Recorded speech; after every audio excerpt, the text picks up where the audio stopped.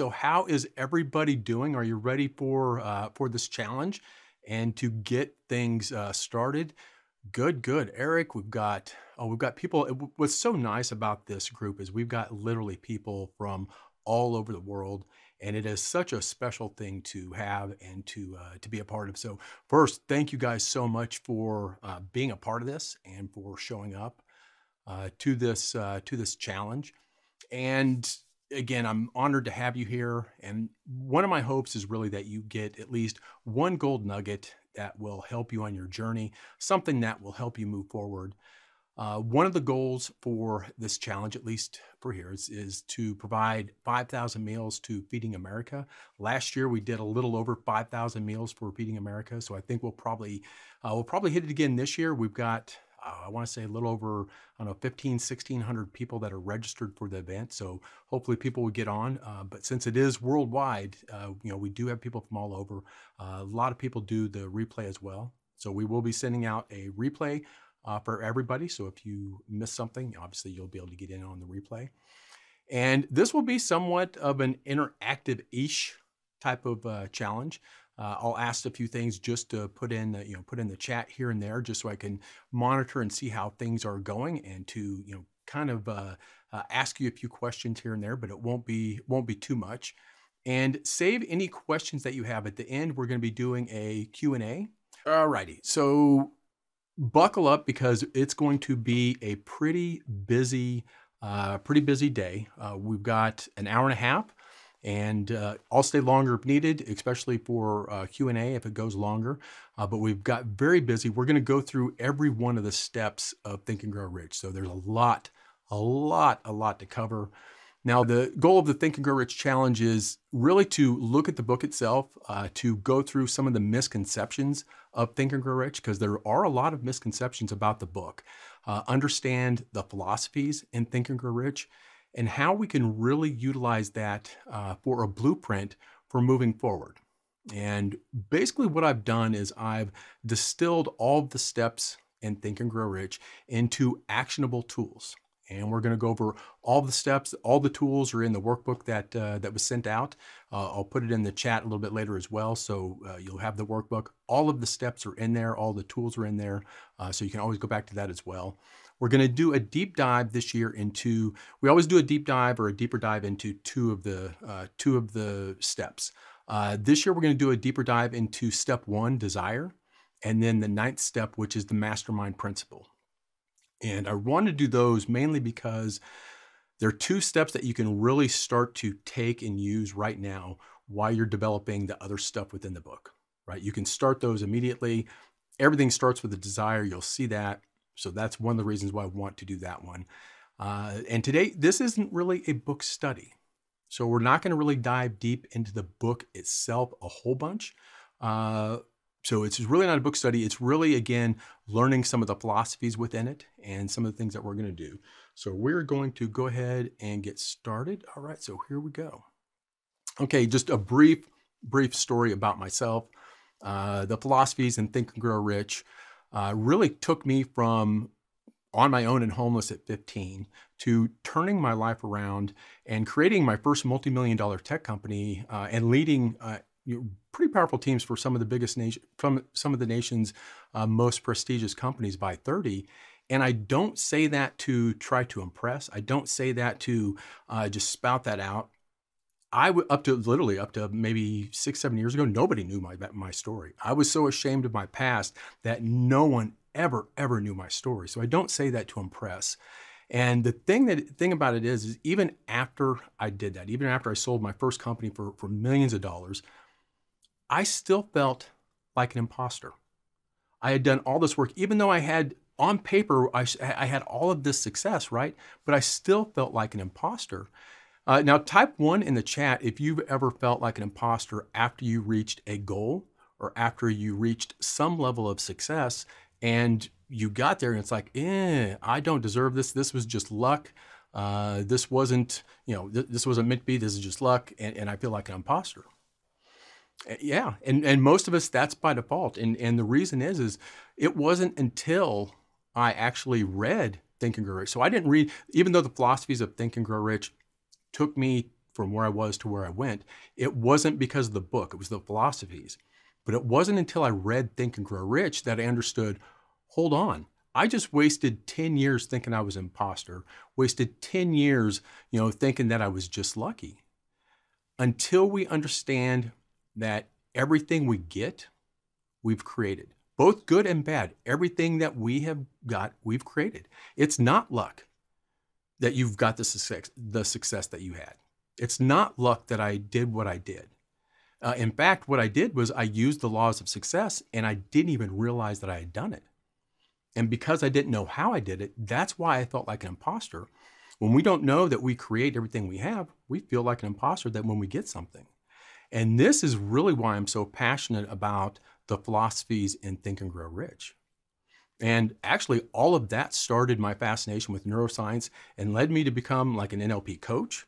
And I, what I absolutely love doing is intertwining cutting edge scientific insights with the timeless uh, wisdom of these philosophies with stuff like Think and Grow Rich, because they do go hand in hand, believe it or not. You know, 15 years ago, people thought it was all woo woo stuff. And now they're like, whoa, there's some science behind all this.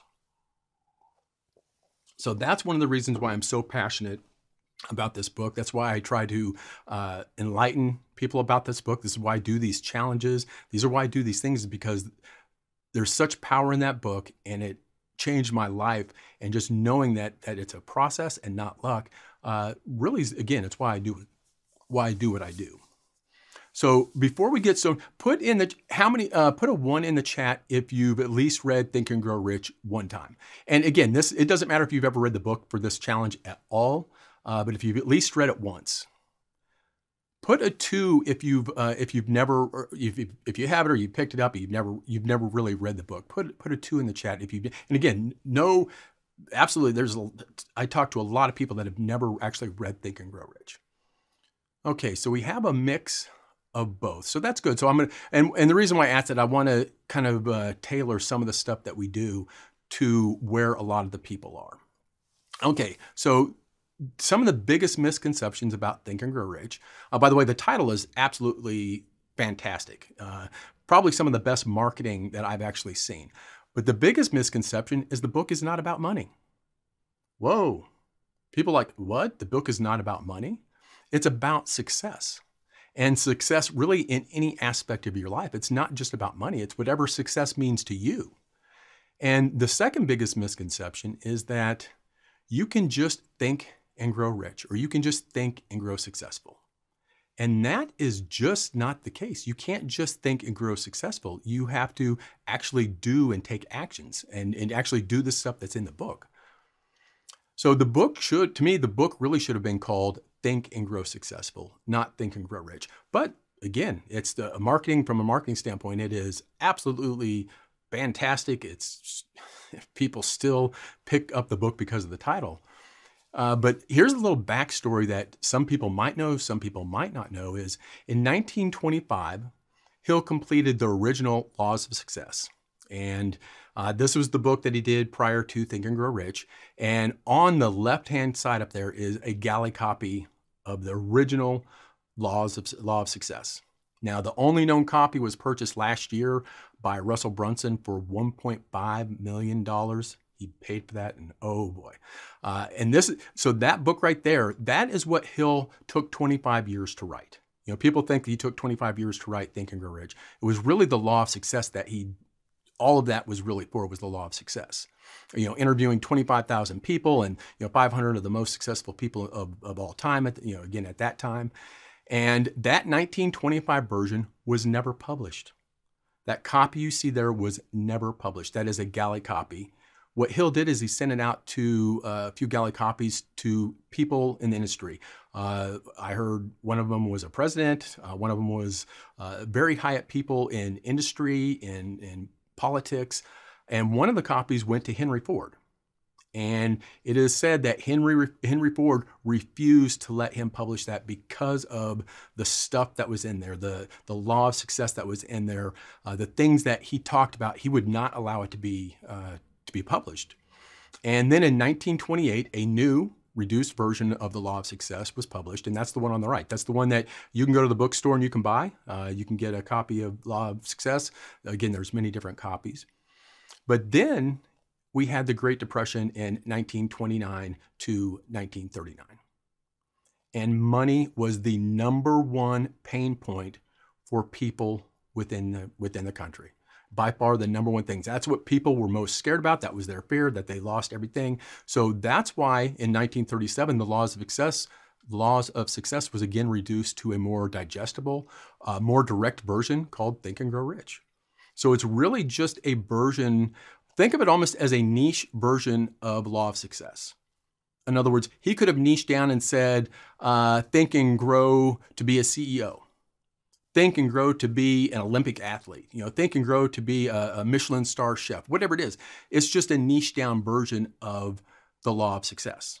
So that's really what it is. It's really just a combination of the law of success and some tactical steps for readers to use to rise again. So that's really kind of the backstory of Think and Grow Rich and how it how it came about. Uh, but it is a very very impactful book. Right here is a copy of the first edition, uh, first edition, first print book, and I actually have it right here. So this is, matter of fact, this is a copy that Russell Brunson sent to me. Uh, he has been in the mode of collecting books uh, pretty uh, pretty regularly, but uh, that's an original version of uh, first print of the of Think and Grow Rich. And I put that in there because I want you to take a look. It's, this isn't in the, the download that you have.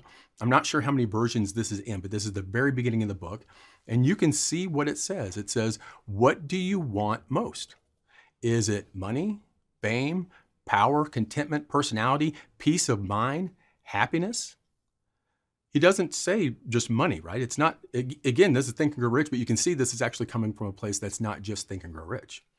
And he says the 13 steps uh, the 13 Steps to Riches described in this book offer the shortest dependable philosophy of individual achievement ever presented for the benefit of the man or woman who is searching for a definite goal in life. He doesn't say to get rich quick. He doesn't say, you know, this is about money.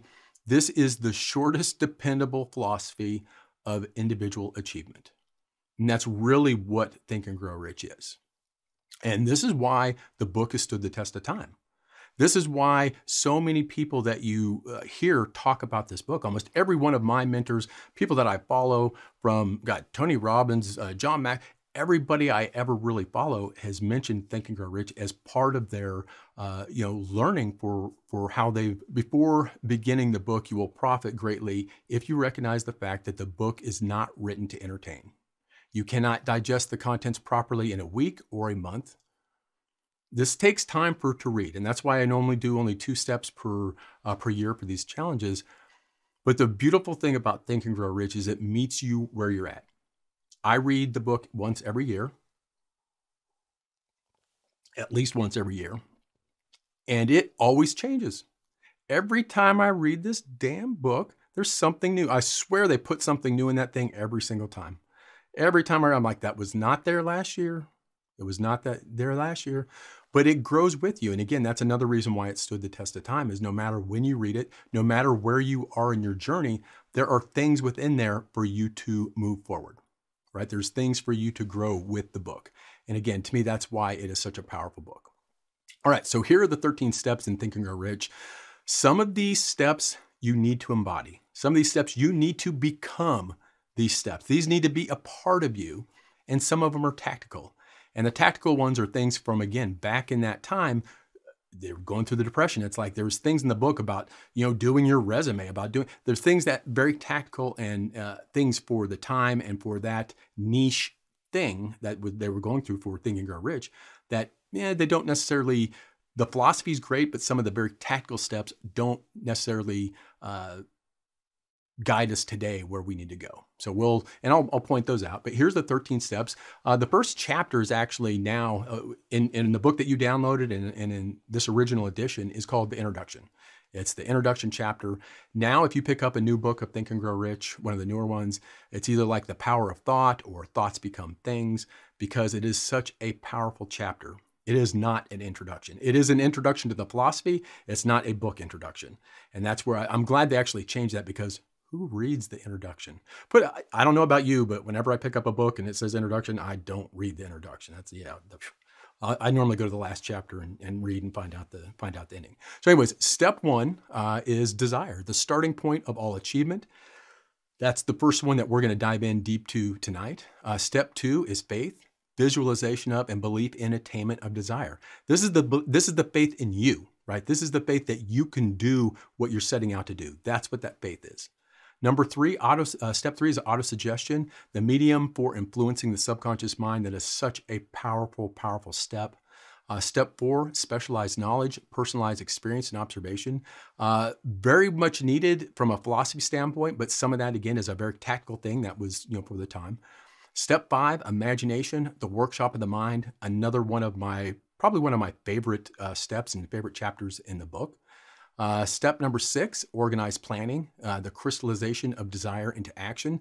That is a, again, all all of these steps have to be in here. That's that's the thing. Some of them I feel are more important, some not as important, but they all have to be there, and they all have to be done uh, to a certain extent. Uh, step seven is decision, the mastery of procrastination. Step eight is persistence, the, the sustained effort necessary to induce faith. One of the things you'll notice that all of these steps they intertwine with each other, right? They go hand in hand, they build on each other, they do things, they're, they're together. So, you know, again, persistence, the sustained effort necessary to induce faith. That's one of the ones we use to induce the faith step. Uh, number nine, the power of the mastermind, the driving force. That is truly the driving force of almost every successful person that you've ever met. Again, that's one of the ones that we are going to dive deeper in tonight. Uh, step number 10, the mystery of sex transmutation. What? It's not what you think. People see that. A lot of people who actually train Think and Grow Rich don't even touch this chapter because of the name, you know, uh, the mystery of sex transmutation, but that's really not what it's about. We'll go through that really quickly. It's one of the ones.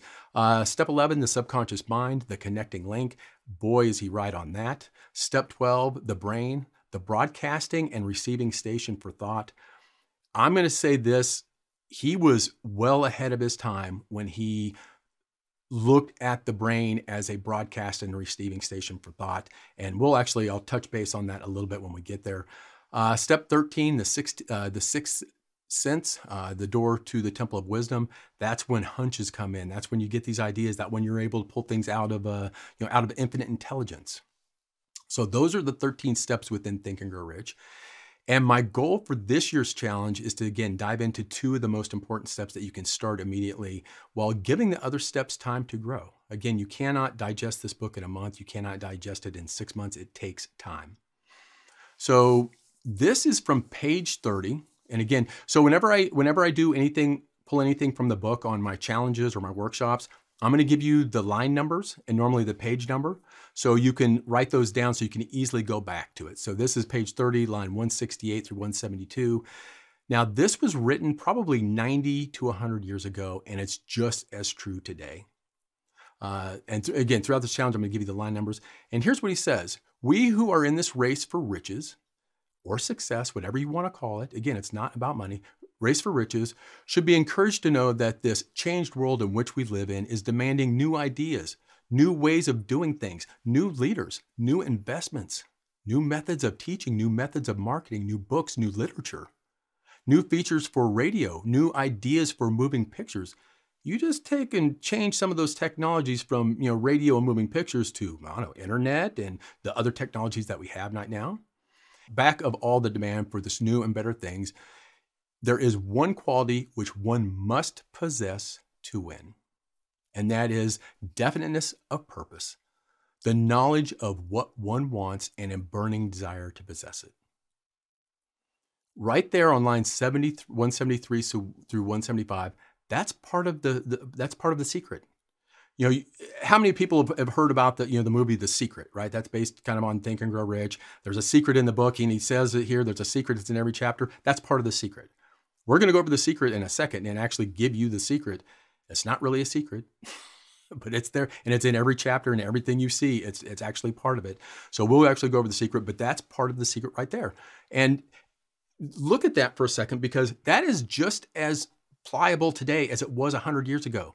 You know, if we're in this for success, we should be encouraged to know that this changed world in which we're living in is demanding these things. It's still demanding the same exact things today as it did 90 to 100 years ago. If you wanted to successfully get to the other side of this thinly frozen lake, let's say this is a very thinly frozen lake, how would you cross it? Fire up in the chat, how would you cross that thin ice lake if you had to get to the other side?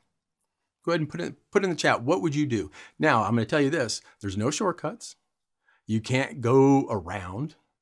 You can't take a magic pill to the other side. You can't do, you know, there's no shortcuts. If you had to walk across that, how would you walk across that ice, that thin ice? How would you do that?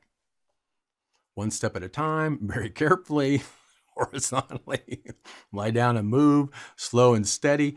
Here's what I would do, and it's based on what I've learned from Think and Grow Rich. Number one, I would find someone who had already successfully crossed. That's number one, right? Number two, I would find their footsteps in the ice that led them to success. In step three, I would take the exact same steps they took. I wouldn't deviate a bit. I wouldn't move just a little to the right, a little to the left. I would take those exact same steps. Well, that's exactly what Think and Grow Rich is. It's the successful steps that people took to reach the success. That's exactly what it is. You're looking at their footsteps of what they said. Here is what I did.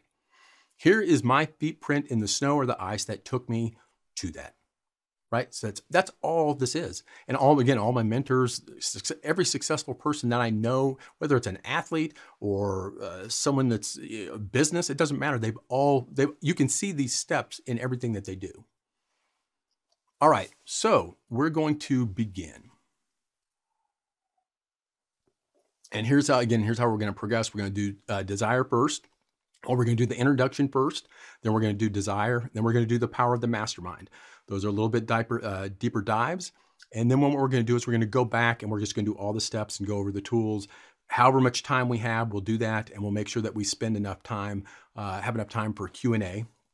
And again, that way we get the the two primary ones done and out of the way so we know that we have time for those and then we will uh, hit everything else as as we go and here we go. So let's start with chapter one the introduction. Again now if you if you look at a newer book it's the you know the power of thought or thoughts become things.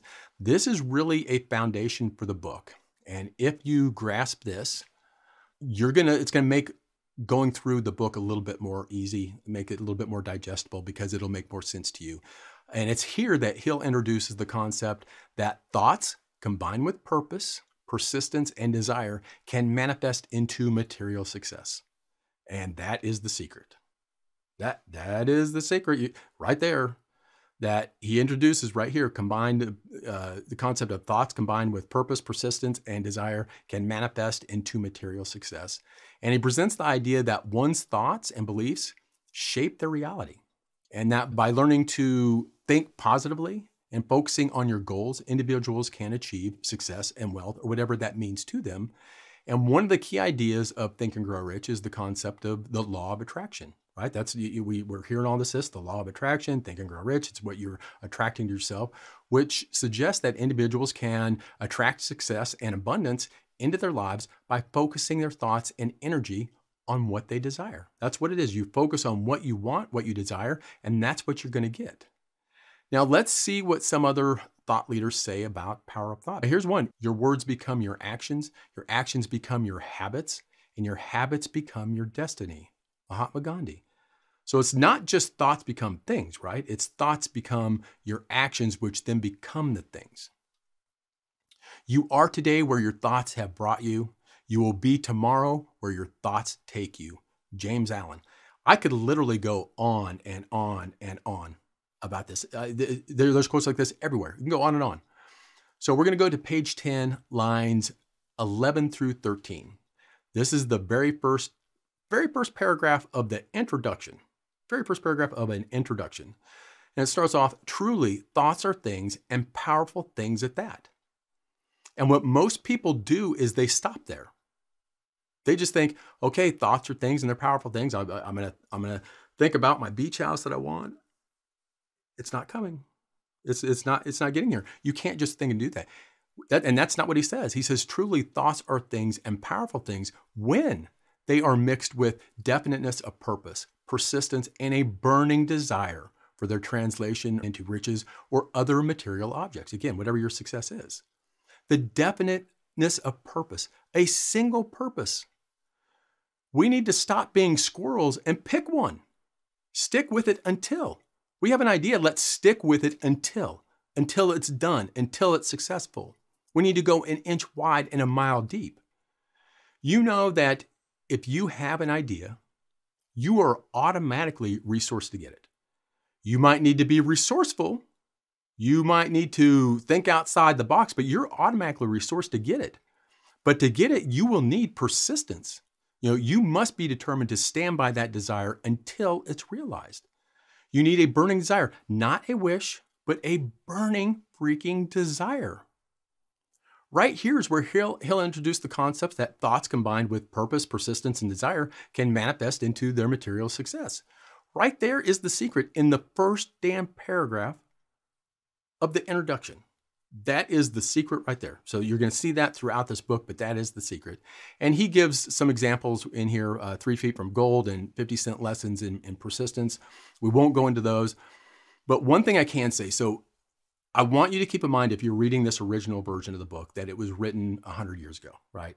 The way the way they talked back then is different than how we talk now. Things that were acceptable back then are no longer acceptable nor should they be. And I can tell you this if we write something today in 100 years, the people reading it will say that's not acceptable. It's because we change, we evolve, right? So if you're reading this book, I don't agree with some of the ways he says things in here. I really don't. But the philosophies are solid. The philosophies are there. So, and I always like to get the original over the. You can get new versions of Think and Grow Rich that don't have any of that stuff in there that are very washed down. But I, I want the original because I think that's really where the energy and the power comes from. But again, it was written 100 years ago, and there's things that I do not like. And if you read the original, there's probably be a few things that don't resonate with you on how they on how they talk or how he talks.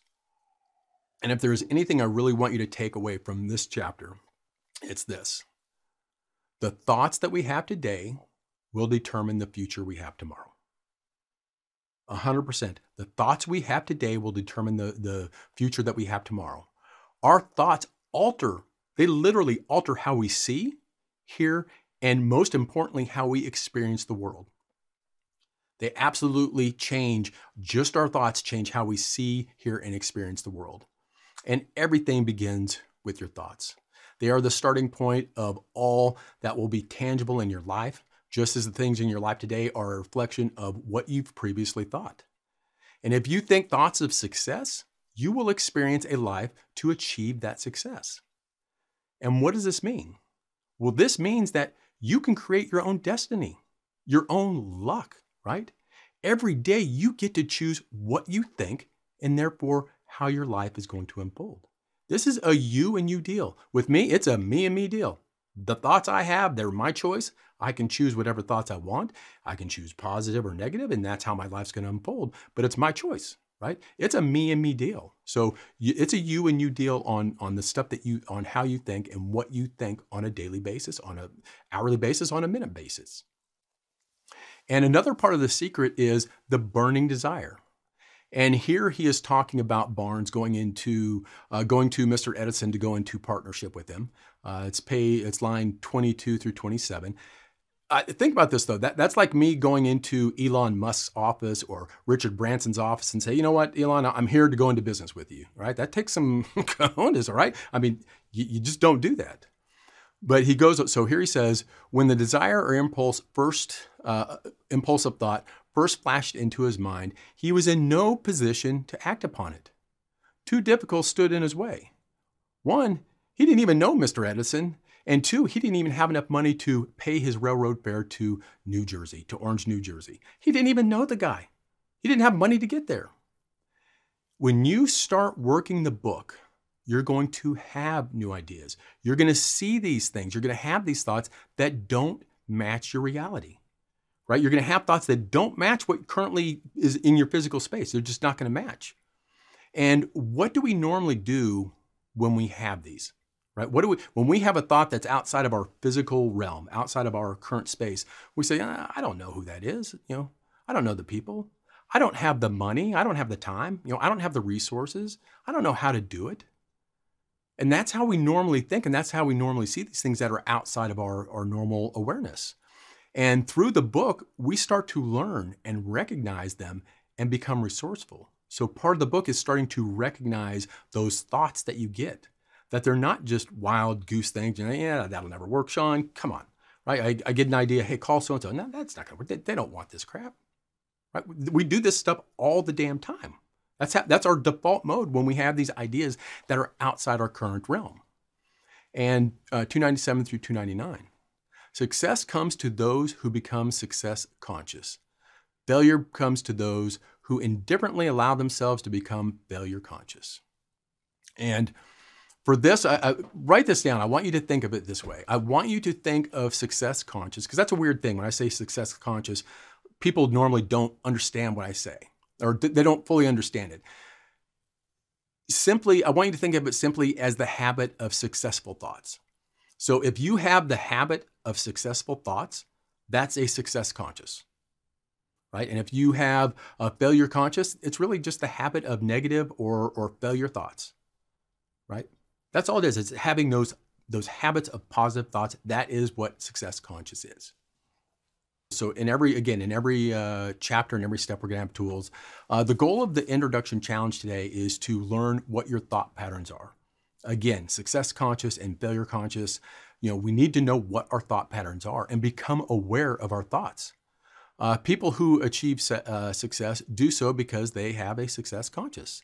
They spend their time thinking about success rather than doubting themselves or thinking about how things can go wrong.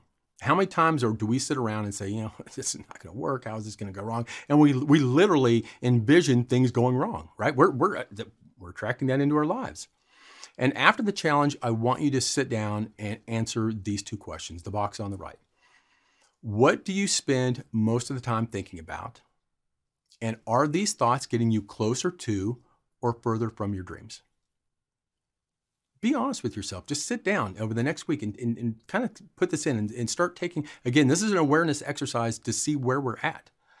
And then for the next five days, I challenge you to uh, put place a tick mark every time you have a negative thought or limiting belief. Tick, tick mark. It doesn't have to be on this, it could be on something else, but put a tick mark on something every time you have a negative thought. If you're anything like me, you're going to need a box way bigger than that because I did the same thing. We on a regular basis. I guarantee everybody on here, uh, me included, by the time I get up and walk through my bathroom in the morning, I've had at least one or two negative thoughts. Right?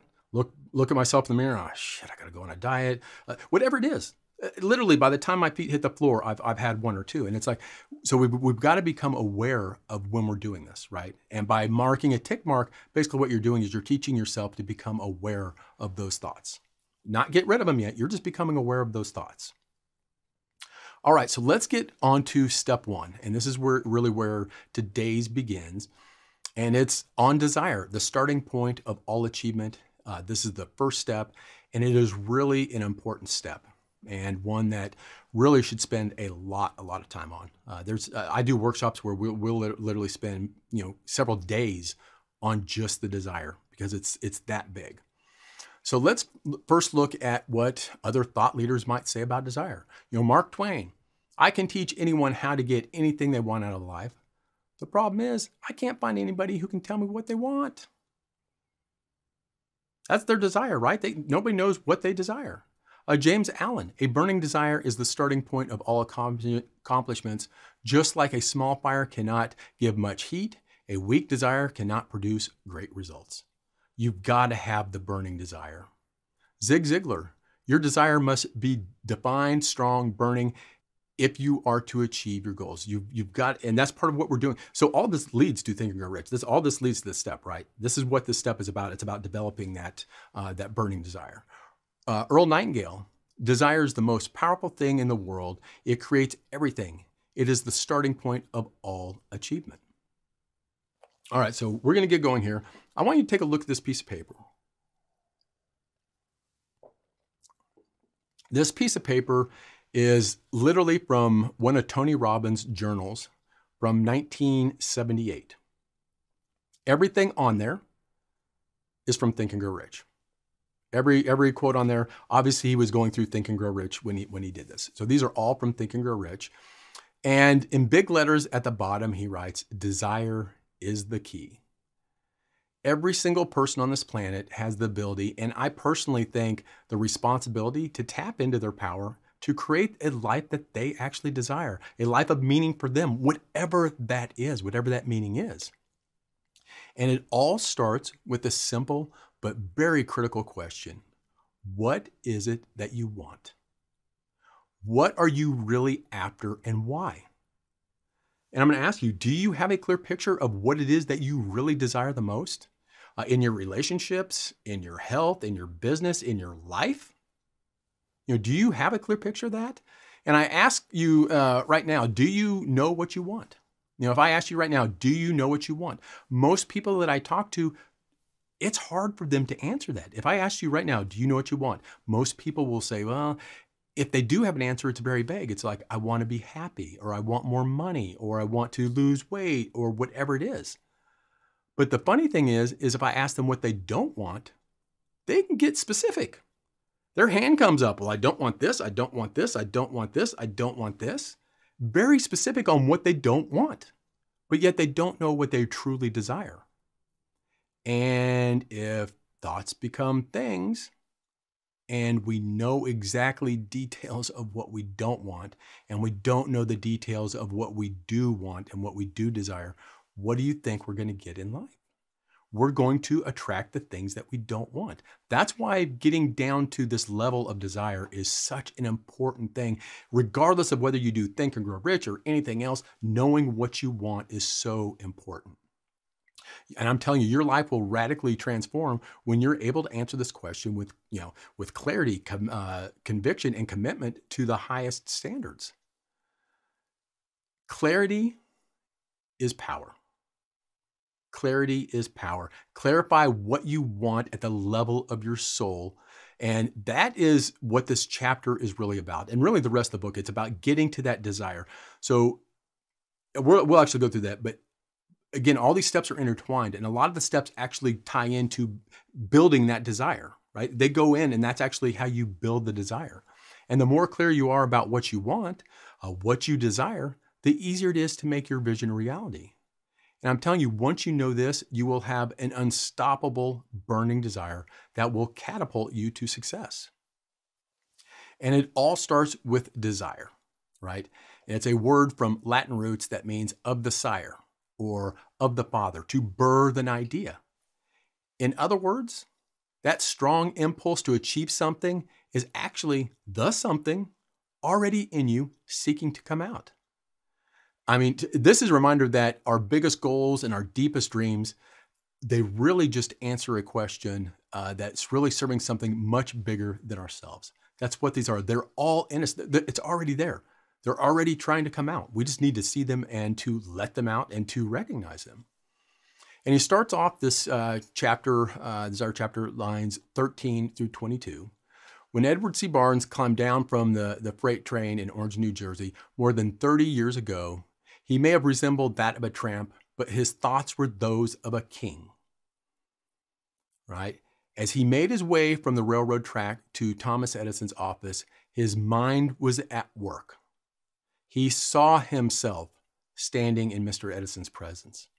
He heard himself asking Mr. Edison for an opportunity to carry out his one consuming obsession of his life, a burning desire to become the business associate of the great inventor. He saw it, he heard it, he felt it. He was living it before he even got there. Barnes' desire was not a hope, it was not a wish. It was a keen, pulsating desire which transcends everything else. It was definite, right? He had a definite desire. And going on to 23 through 30, the desire was not new when he approached Edison. It had been Barnes' dominating desire for a long time. In the beginning, when the desire first appeared in his mind, it may have been, and probably was, only a wish.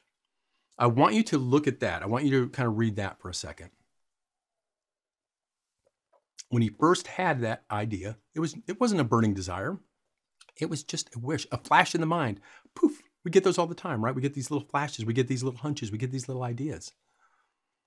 But it was no mere wish when he appeared before Edison. And one of the most frequent questions I get is, what if I don't have a burning desire? I get that question all the time. Well, you know, the, when people come into my coaching, when they do things like, I don't have a burning desire. Here's the thing you will never just have a burning desire. It doesn't just magically appear. It doesn't just, you know, spontaneously combust into a burning desire in you. Burning desires always start as just that flash of an idea that wish for something that you want, that uh, whatever that is that you, that you you, know, you, you think and you're just like a hunch. It's like I, I, I want to do that. That's the way they start. We have to build it into a burning desire, and that's where the steps in Think and Grow Rich come in. They help us build that wish, that idea, that hunch into that burning desire. And a few years later, uh, Edward, uh, Edwin C. Barnes again stood before Edison in the same office where he first met the inventor this time, his desire had been translated into reality. He was in business with Edison. The dominating dream of his life had become a reality. It is a remarkable, uh, line 45, it is a remarkable illustration of the power of a definite desire. Barnes won his goal because he wanted to be a business associate with Mr. Uh, Edison more than anything else that he wanted, more than anything else. He created a plan by which to attain that purpose, but he burned all bridges behind him. That's critical there. He burned all bridges behind him. He stood by his desire until it became the dominating obsession of his life and finally a fact. So it didn't just pop in and was this all consuming desire when he had it, right? He stood by that desire until it became the dominating obsession of his life. He kept going, he kept going, he kept going. He kept, uh, you know, being obsessed with that idea and doing it. And you're building and you're building and you're building. That's how you get to that point. It never just happens. And this uh, right here is what the philosophy of, of this chapter is really about. You know, you can have anything that you desire. You really anything that you can come up with, anything that you can desire, you can have that in reality. But it takes that momentum. It takes that building into a burning desire. All right, so what exactly does a burning desire look like? You know, people will say all the time, you know, what does, you know, I, I think I desire something, but what is a burning desire? Let's talk about a story, uh, the story of burning your boats. I'm sure everyone's heard the story, you know, burn your boats. People talk about it all the time burn your boats, burn your boats. The concept of burning your boats is often traced back to a story that's associated with the conquest of the Aztec Empire by Hernan Cortez in 1519 right? And so on uh, line 66, a long while ago, a great warrior faced a situation which made it necessary for him to make a decision which ensured his success in the battlefield. He was about to send his armies against a powerful foe whose men outnumbered his own. He loaded up his soldiers into boats, sailed to the enemy country, unloaded the soldiers and the equipment, and then he gave the orders to burn the ships that just carried them. Burn them! In addressing his men before the first battle, he said, You see those boats going up in smoke? That means we cannot leave these shores alive unless we win. We now have no choice. We win or we perish. He didn't leave them any other choice. You either you either win or you perish. That I guarantee put a burning desire into every one of those soldiers, right? That's a burning desire. They burned the boats. There's no other way. You you you win or you die. That's that's it. There's there's no other option. And every person who wins in any undertaking must be willing to burn his ships and cut all sources of retreat. By default, as humans, when we have these sources of retreat, whether they're unconscious or not, we take them. Only by doing so can we can one be sure of maintaining that state of mind known as a burning desire to win, and that's absolutely essential to win. Now, put in the chat, have you ever done something that after you did it, you said to yourself, well, there's no turning back now? Put a one if you've ever actually burned a bow, like, well, yeah, there's no no turning back. Yeah. Yep. And I remember, so it's kind of funny, but I remember, uh, I think uh, two years ago, I took my wife to uh, Universal Studios uh, in, in Orlando and I took her to the Hulk roller coaster She does not like roller coasters. And I said, Don't worry, it'll be it'll be fine. Don't worry, it'll it'll be fine. And we get up and closer, and she's about ready to back out. She's like, oh, I'm going to go through. I'm not going to do this. I'm getting out of line. Finally sits down. She's about ready to get up, and there go those seatbelts. It's like, your boats are burned, honey. There's no turning back. You're on the ride. You're you're going for the ride. You know that that is burning your boats. You you have no other option at that point. And when I started my first company in 1996, so my company first first company was in 1996, I was still working for corporate. For 2 years I struggled and not much movement in that company. Virtually did nothing. Very few sales, very few things. In 98 I was fired from that job. Fired from my not that not my company, from my corporate job. In 2000, I sold that company for 6 million dollars. So in two first 2 years absolutely nothing. Second two years, buckle up. I was put in a position where I had to succeed, or my family was going to starve, right? Corporate was my boat. That was my escape hatch, and my subconscious knew it. But when we don't have uh, that, here's the thing you don't have to have that life event in order to recognize that and that's part of what the, the book teaches is you don't have to get fired from your job you don't have to have these big life events you can actually do those by yourself you don't have to have these big events and again i'm not telling you to quit your job but we all have ships that we need to burn we all have things that we need to burn friends food jobs whatever it is, there's things that we're using as an escape hatch to go back and play it safe.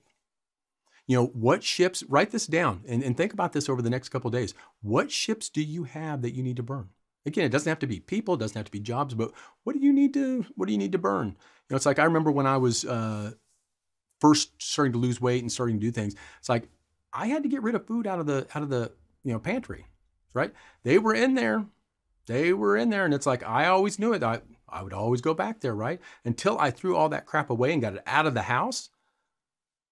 I was going to go back. There was an escape hatch. Oh, I, ha- I had a great day. Let's celebrate. I'm going to eat a piece of cake. Oh, I had a bad day. I'm to eat a piece of cake and celebrate, make myself feel better, right? No, we always make the excuses, no matter what it is, to go back to that escape hatch. So, lines uh, 608. So, how can one harness and use the power of desire?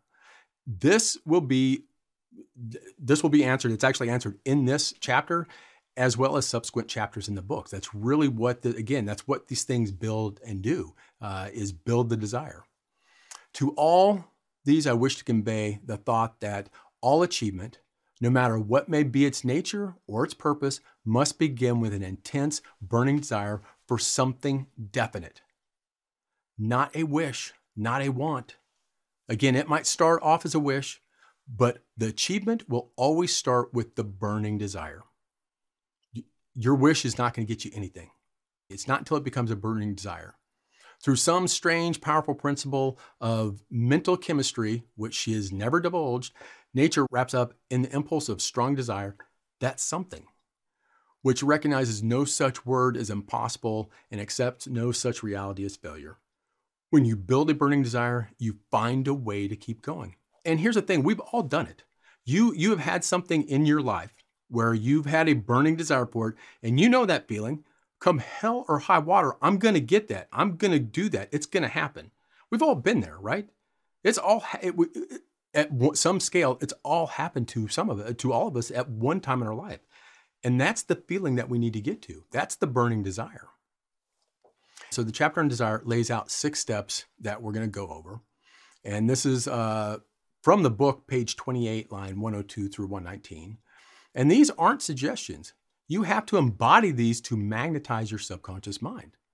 You know, your subconscious mind doesn't know right from wrong, good for bad.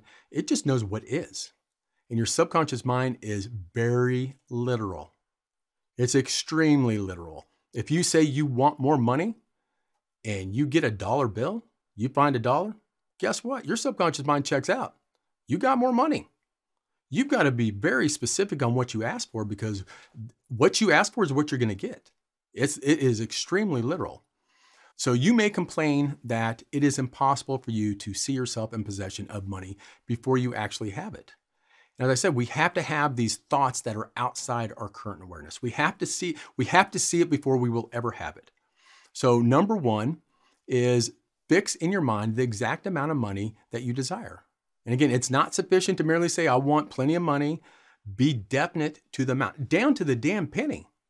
You know, there, and by, by the way, there's a psychological reason for definiteness of, of, of your desire and your purpose, uh, which I might go through when we get to that step. I might put some of that uh, neuro uh, neuroscience in there and to show you why there's an actual reason for it.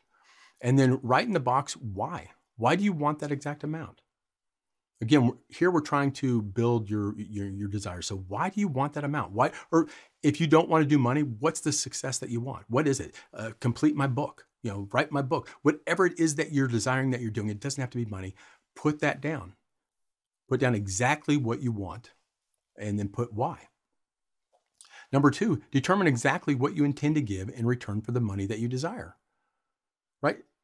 Everything is a cost. Nothing's for free.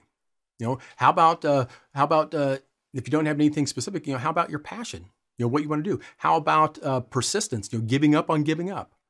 How about time to the process? I'm going to give time to the process. How about your entire conscious and subconscious mind, your energy, your your attention? You know, stop watching TV, whatever it is. What do you intend to give in order to get that what you're desiring? don't go outside your bounds to give you know don't don't uh, give up on like your your values or your family or your health the cost of what you intend to give could be higher than the value of what you're really wanting. So be sure that you say what you're going to give that it's something that's not going to compromise uh, what you're who you are really.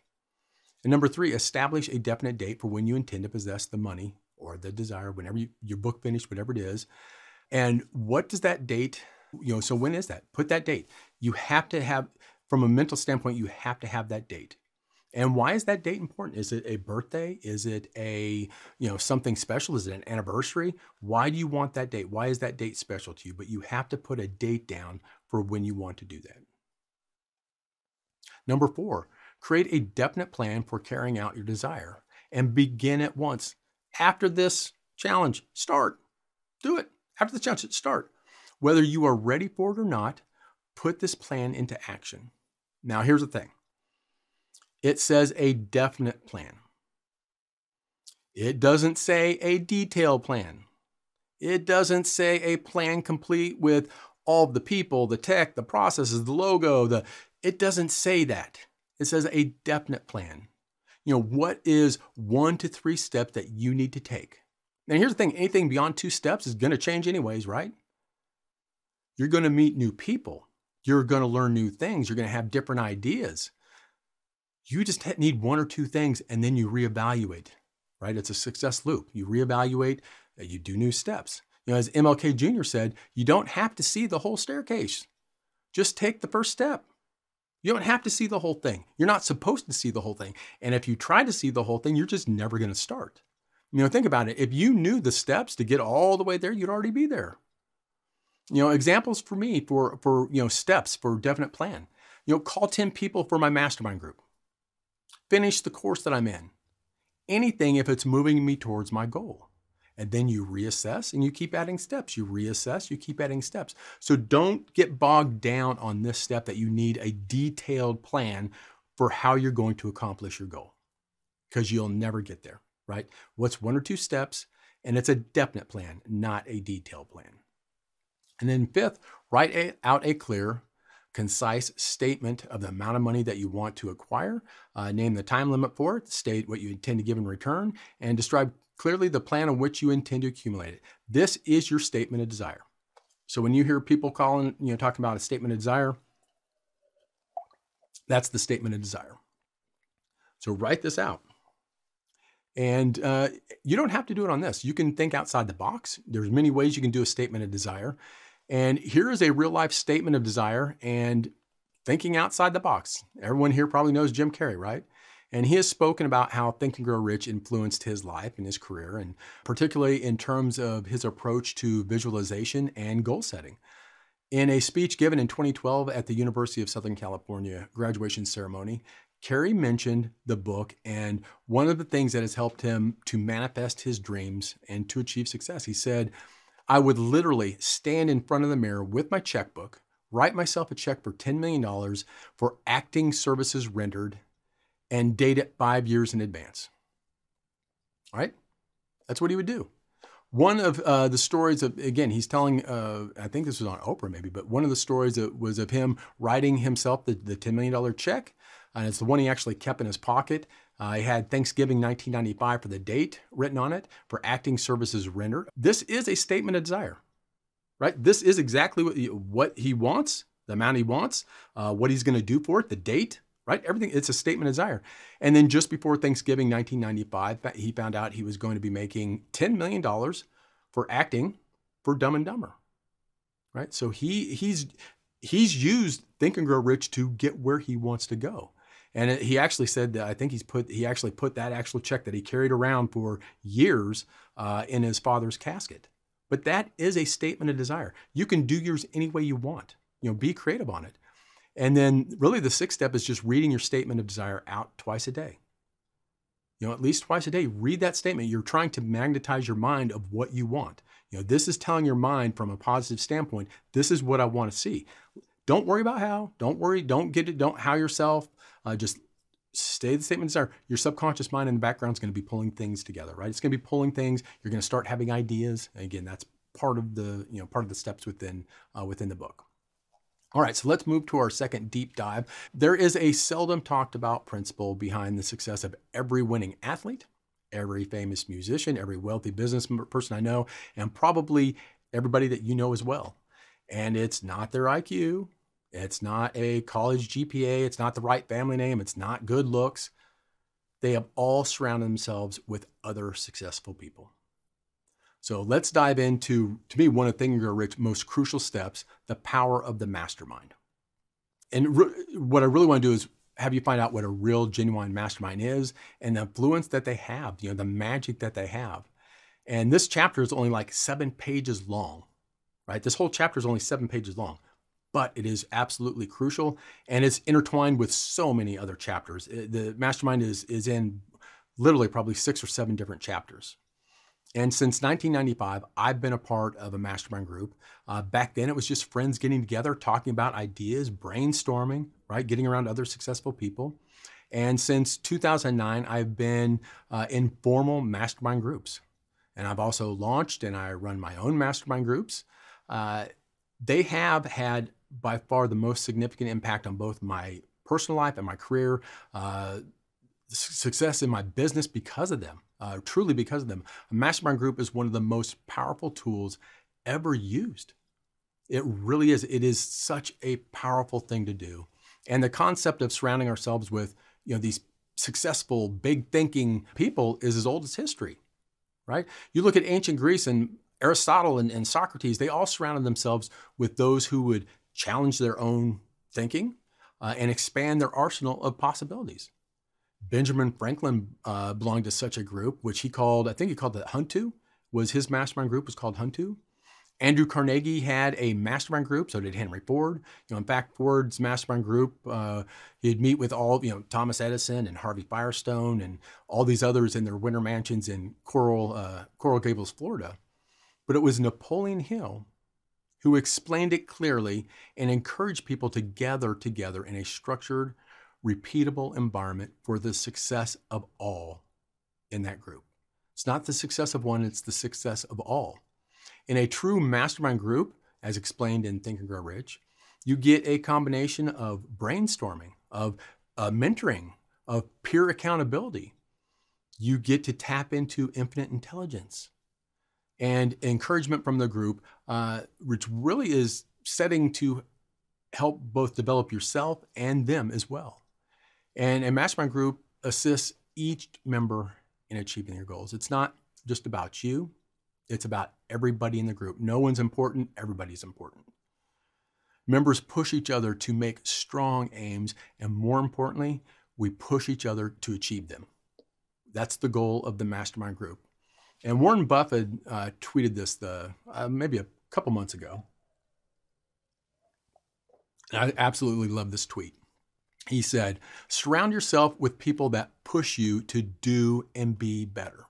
No drama or negativity, just higher goals and higher motivation, good times and positive energy, no jealousy or hate, simply bringing out the absolute best in each other. This is exactly what a mastermind group or alliance is. And let me ask you a question. Do you think put a, put a one in the put a one in the in the chat? Do you think Warren uh, just puts this out there so he can keep his social media fresh, or put a one if you think he really does this? Do you think he really does this?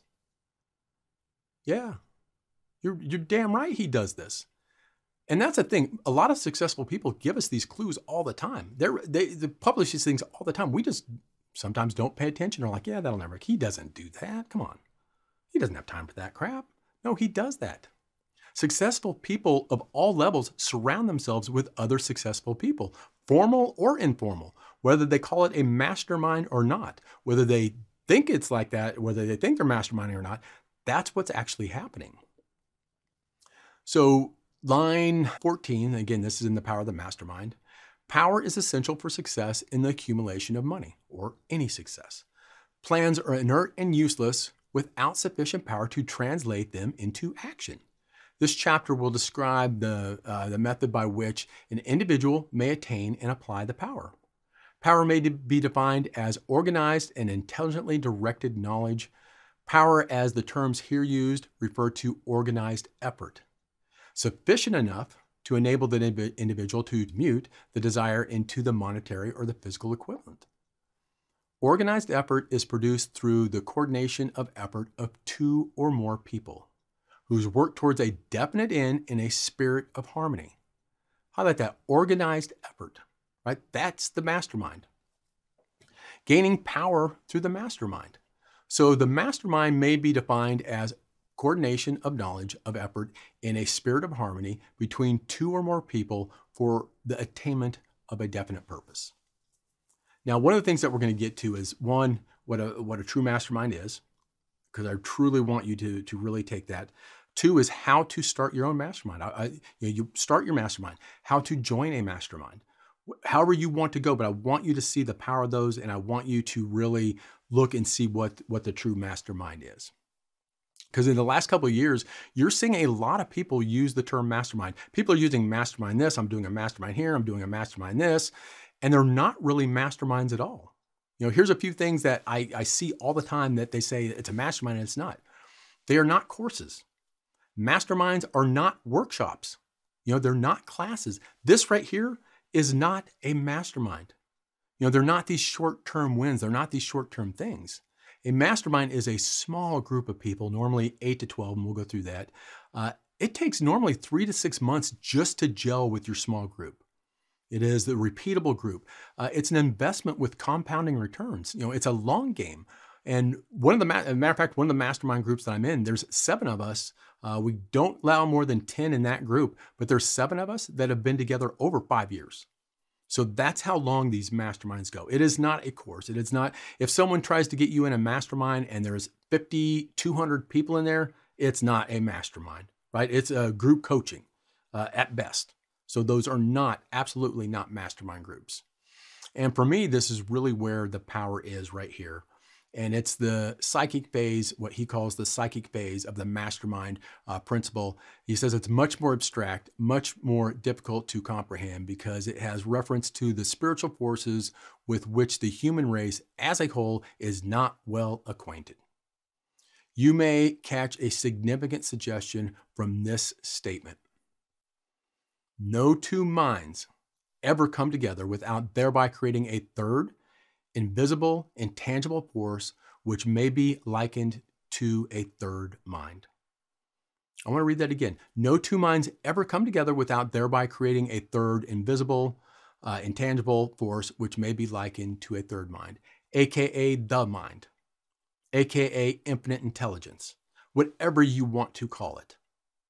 That's what a mastermind gets you connected to. And when two or more people coordinate in a spirit of harmony and work towards a definite objective, they place themselves in a position through that alliance to absorb power directly from the greater universal storehouse of infinite intelligence. This is the greatest of all sources of power, and it is a source which the genii turns.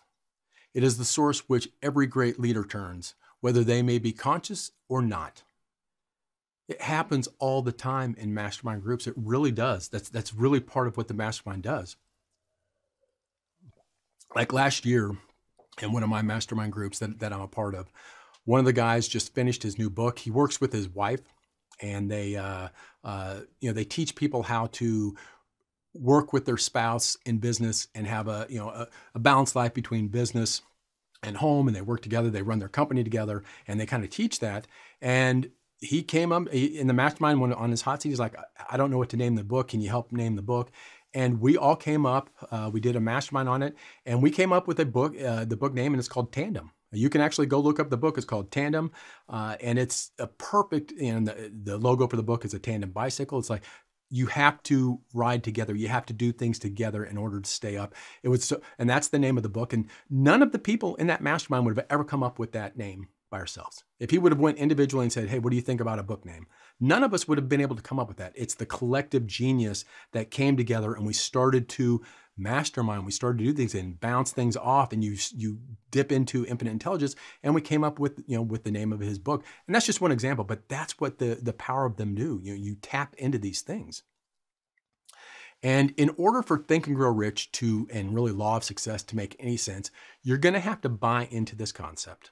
And this has nothing to do with religion. It has nothing to do, but you're going to have to bind to this concept that we are spiritual beings gifted with intellect living in a physical world. And that's where that SIP on the side is from. We've got the spiritual side. You have all of these ideas, all of these things that are floating through the ether. We bring those into us, into our intellect, into our ideas, right? A hunch, whatever you want to call it. We boom, we get this idea. And that drives our results. So we are a spiritual being gifted with the intellect in a physical world. And Hill, Carnegie, Ford, Edison all knew, as millions of others have discovered since, that a mastermind group can uh, focus special energy on your efforts, on your desire, in the form of knowledge, resources, and spiritual energy. You have a mastermind as one of the ways to get access to the mind, to the universal mind. You know, those ideas are up there. They're they're floating around. You think uh, you know the Wright brothers just came up with the idea to fly? No, it's been there forever. It's been floating in the ether for thousands of years. They just happened to become aware, right? They became aware of that idea. They didn't they didn't invent anything. They became aware of something, right? Those are all flying. Those are all out there on those on that level of the ether of all these different vibrations, these ideas. They're all out there floating. That's like I, I kind of laugh when someone does something and then someone else says, they stole my idea. I had that, they stole it. No, they became aware of it just like you did. they didn't steal your idea, right? So, uh, line 77, keep in mind the fact that there are only two known elements in the whole universe energy and matter. And it's well known fact that matter may be broken down into units of molecules, atoms, and electrons. And there are units of matter which may be isolated, separated, and analyzed. And likewise, there are units of energy. And the human mind is a form of energy. We have vibration, it's energy. That's all it is, right? It's energy as a part of, and, and part of that energy is of the spiritual nature. And when the minds of two uh, people coordinated in a spirit of harmony, the spiritual units of energy of each mind form, a, form an infinity and constitute the psychic phase of the mastermind group. They really are that powerful. And again, they, they take time. They're not something that's, you, you can't expect to go into a mastermind and, and get a whole bunch of success in a, in a month, right? That's just not how they work. Going to lines 112, a group of brains coordinated or connected in a spirit of harmony will provide more thought energy than a single brain, just as a group of electric batteries will provide more power than a single battery. But I've always been interested in the notion of what I call compounding energy. Right, that's when uh, you know the phenomenon when the whole is greater than the sum of its parts. It's like when one plus one equals four. That's an awesome thing to do, right? One plus one equals four. And those right there are draft horses. Have you ever heard of a draft horse? Each of those can normally pull about 8,000 pounds. So if you take a draft horse, it can pull about 8,000 pounds. But two can easily pull 24,000 pounds when working together. And with a little bit of training, they can pull nearly 32,000 pounds together. That's four times what we could mathematically expect them to do, right? Eight plus eight, that's 16,000, right? But they can pull almost 32,000. But that's the incredible power of the mastermind principle. It's that unique combination of power that comes from working together and from the spiritual form of the universe that is added to the process. And again, this is this is tied into so many chapters within the book. And he goes on on 142. This is a very telling and important statement. Man take on the nature and the habits and the power of thought of those whom they associate in a spirit of sympathy and harmony. We take on the spirit. And I want you to, so I'm going to get into a little bit of neuroscience here, just because I'm always the type of person that says, if you say this works, well, I, I kind of want to know why. So let's get into just a tiny bit of neuroscience. We won't get too deep into it, but this really ties into the mastermind and why it works from a science level, from a physical level of our body. So let's look at, again, some neuroscience behind this, some technologies that we have built in that support what Hill say and Jim Rohn. You know, Jim Rohn had the quote, you know, we become the average of the people that we hang around with the most. You know, uh, Tony Robbins, the proximity and power. There's so many ways to say that. And I want to introduce you to one of your technologies called your mirror neurons. I'm not sure if you've ever heard of your mirror neurons, uh, but it's a really, really cool feature. Now, mirror neurons are a type of neuron that fire when you observe someone carrying out an action. So when you, uh, for example, when you see me here teaching, your mirror neurons in your brain start firing up, allowing you to understand what I am doing. And your nervous system, your nervous system sees you doing and experiencing the same thing. So right now, in your nervous system, it's experiencing as if you were standing here doing this. You're experiencing it. That's your mirror neurons. You can go look them up. It's, it's a fascinating thing that we have. And it's all in real time, in the background, and you don't even know what's going on. You know, this provides us a direct internal experience of another person's actions and emotions, aka their energies, right? We get an, a direct experience of it. For me, this is again, this is the human technology behind the sayings that you become the average of the five people you hang out with. Because you see and experience what the people around you are doing you are ex- experiencing it in your own nervous system. If I if I literally cut open an, an, uh, a lemon right now and I took a bite of a lemon, your mouth would start watering. You didn't take a bite of the lemon, right? If I actually took you through that ex- exercise of, of me biting into a lemon, your mouth would start watering. That's your mirror neurons kicking in, saying, "Hey, I I'm experiencing the same exact thing." But that's why masterminds work. They work on a literally a neuroscience level for us. They, there, there's this isn't woo woo crap anymore, right? There's science behind all this stuff.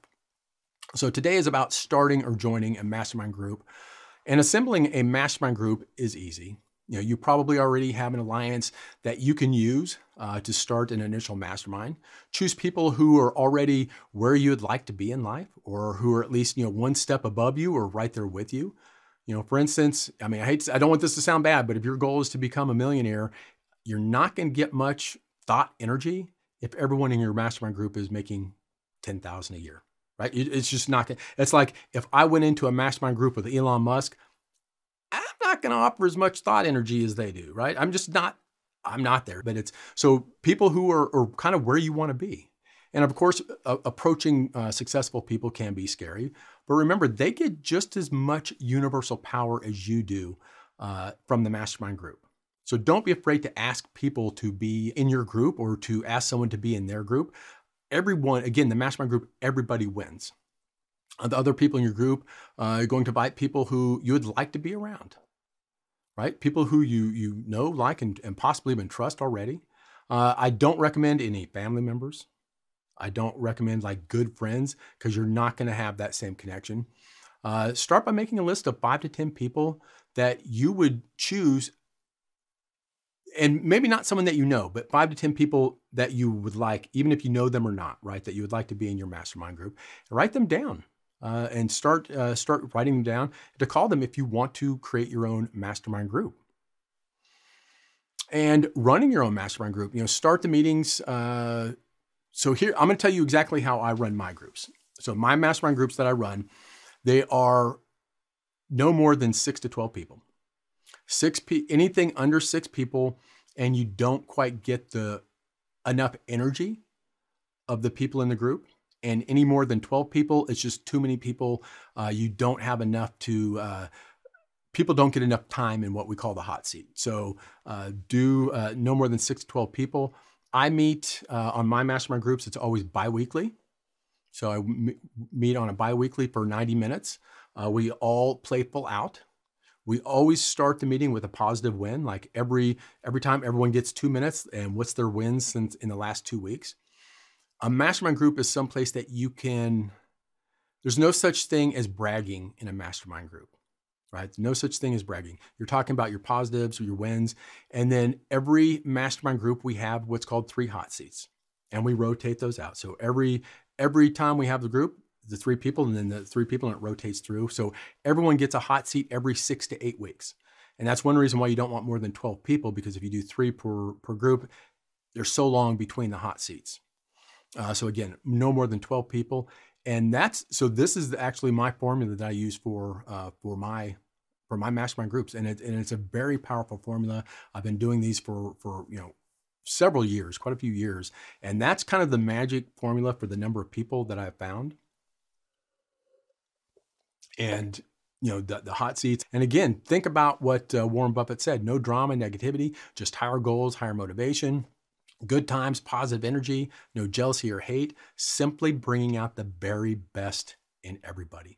That is what it is all about. And then if you're just starting out in mastermind groups, I do like if you've never been in a mastermind group, I do recommend that you try to get into one just to get to know it. Uh, you try to get a feel for it. It's like going in and, and test driving it, right? So I, I, recommend you go and you you join a mastermind group. Most mastermind groups are a minimum of three to six months uh, commitments if you join a mastermind group. Uh, that's because it takes time to gel. Uh, but what's funny is when people get in a mastermind group, a lot of times they don't change. It's like they'll be in for two, average is probably two to three years in a group before they move to maybe a different group at a different level or they move around. So normally uh, it's normally like two years that you're in one. So you want to make sure that you, uh, you choose wisely on the mastermind group. But that's really what the mastermind is. Again, it is such a powerful force for success. No, no successful person has ever done it without a mastermind group. I've never seen it never never have. So that's the power of the mastermind group. Start one uh, find one get in one whatever it is there is power in that that i could give up so many things. The one thing i will never give up is a mastermind group. That, i mean that's how much they mean to me is I, I will never give one up